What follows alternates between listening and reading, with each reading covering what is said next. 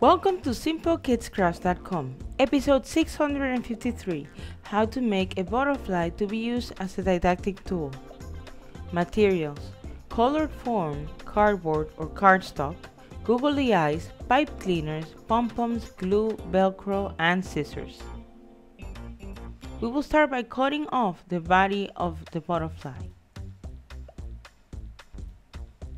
Then we will apply a bit of glue to it and attach the pom-poms with a larger pom-pom for the head.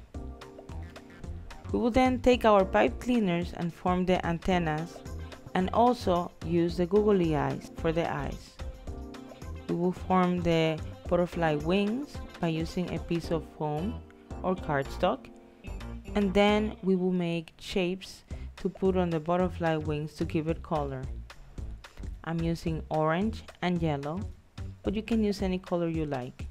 We will attach velcro to the back and then we will attach it to the wings. We will now use a piece of foam or cardstock to make the cocoon. The trick is to take the butterfly wings off and to put it inside of the cocoon. And we will use the butterfly body as the caterpillar that will go into the cocoon and then become a butterfly.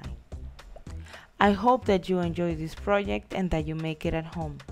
I'll see you on the next video. Bye!